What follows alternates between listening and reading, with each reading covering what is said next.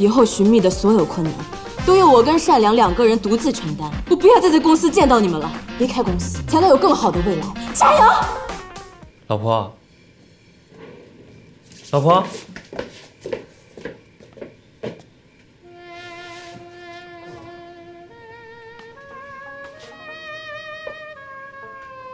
老婆，你为什么给我转了五十万？你公司不是遇到困难了吗？我作为单太太，应该要帮你共度难关的。那你哪来的钱？你别问了，能帮到你就好。给我，给我。这中间那一页呢？红舞鞋呢？你把红舞鞋的设计稿给卖了？为了你，我愿意。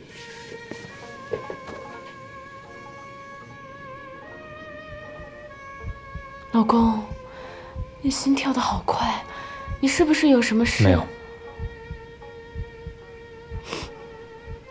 我知道这些钱可能还不够，没关系，我可以把破利莫的。不行，绝对不行，这件事情我自己可以解决，你放心。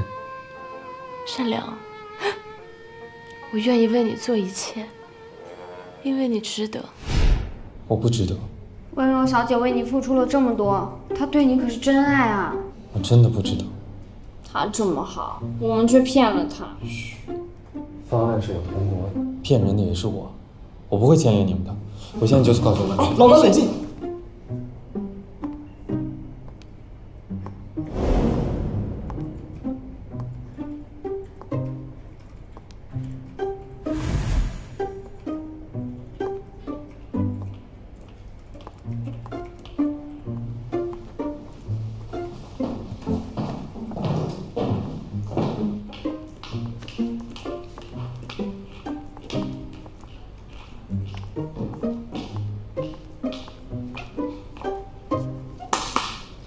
聚集一下，我有事情要宣布。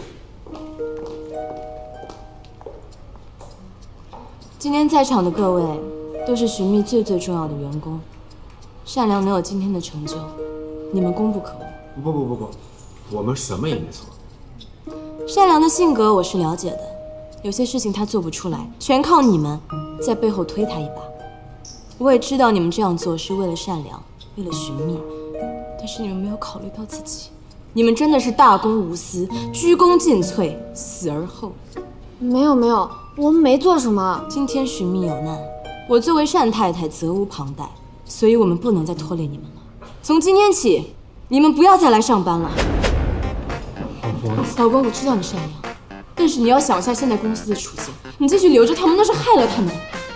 我把我的红舞鞋的设计稿卖了，才凑了五十万给你，还要怎么样呢？老板，我才刚来，我还没过试用期呢。对，其实小美的工资之前也买了很多包包，当时都是图便宜的时候才买的，但是积少成多，那也是一笔很大的花销。小美换了公司，以后点外卖的时候就可以加个鸡蛋了。单总，我可是老单总从别的公司挖过来的。对，邹静她是老员工，我我以前有一款限量款的包包，是爸爸送给我的见面礼，我不也一声招呼没打就把它给卖了吗？这不是没办法的办法呀。老板。我对你可是忠心耿耿啊！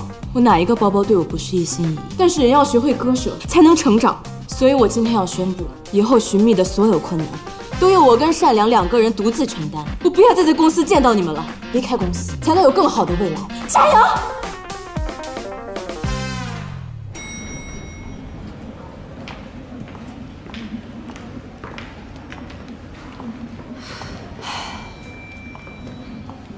静姐。倩倩、小美，你们一定要保重。